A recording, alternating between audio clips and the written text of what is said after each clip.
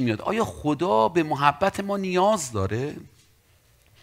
اگر خدا بی نیاز هست آمین به هیچ چیزی نیاز نداره مسلما عدم محبت من در حضور خداوند خدا رو از اون هدف مقدس خلقت و ذات خودش دور نمی‌کنه که محبت هست.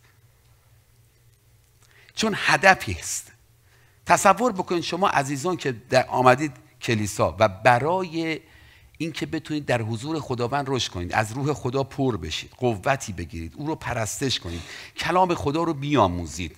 در این مکان اومدید وقتی که وارد میشید یک نفر به شما با چهره خوشرو با سخنان زیبا به شما میگه خوش آمدید عزیزم برادرم خواهرم.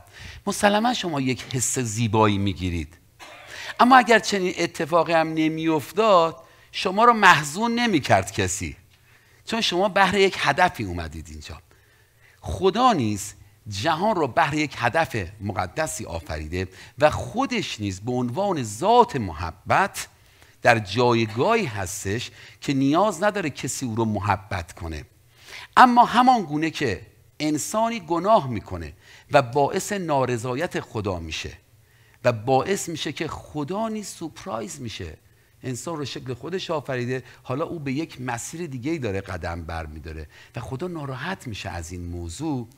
همین گونه وقتی که ما در حضور خدا هستیم نام خدا رو جلال میدیم با اعمال و رفتارمون کارهای محبت آمیز می‌کنیم خدا رو خوشحال خواهیم کردش.